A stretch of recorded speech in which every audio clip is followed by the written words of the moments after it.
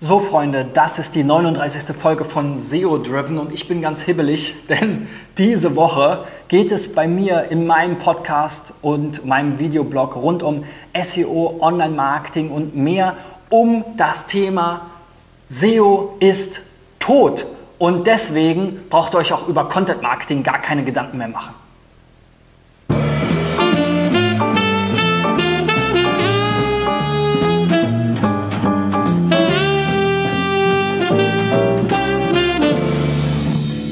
Ja, und das ist natürlich ein Scherz, denn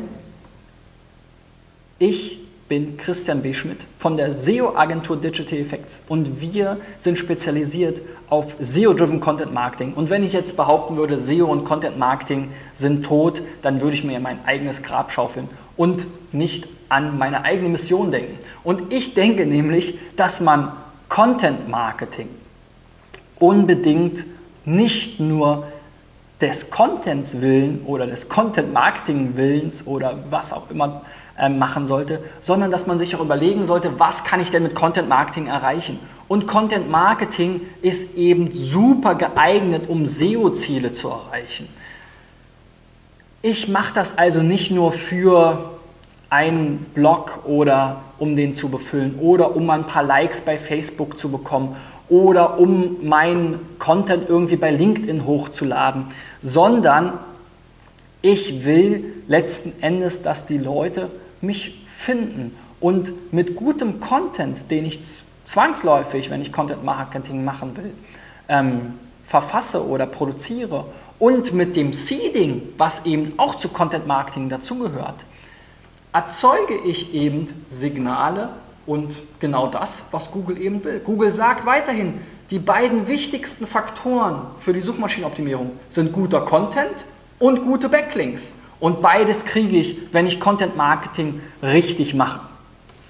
Und deshalb ist es eben so schade, dass es da draußen so viele Agenturen und Unternehmen gibt, die Content Marketing betreiben und sich dabei überhaupt gar keine Gedanken über SEO machen.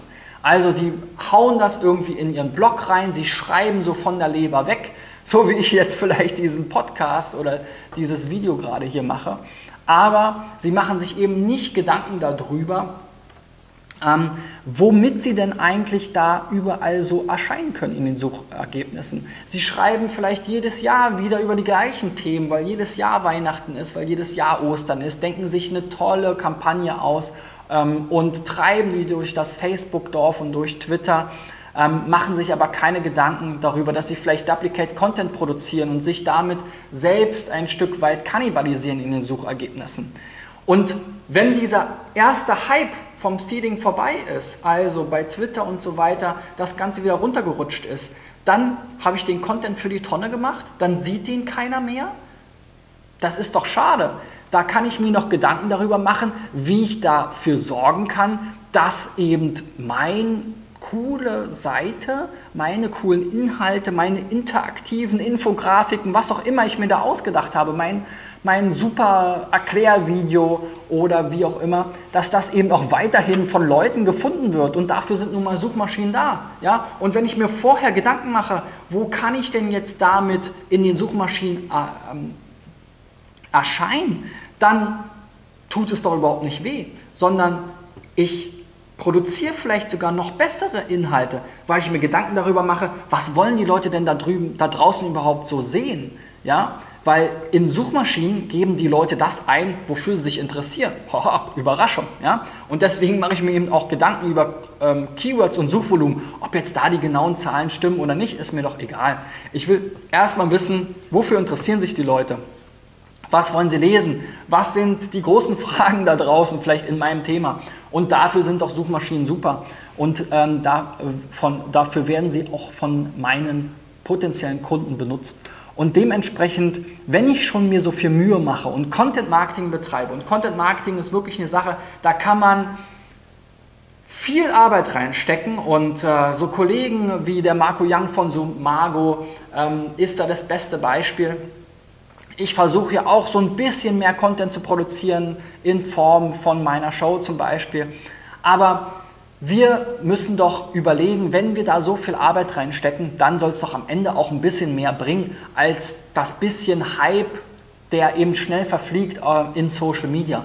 Und wenn ich eben nachhaltig davon profitieren will, dann muss ich mir eben auch die Suchmaschinen mit in mein Konzept einbauen. Und ähm, das ist gar nicht so schwierig und gar nicht so schlimm.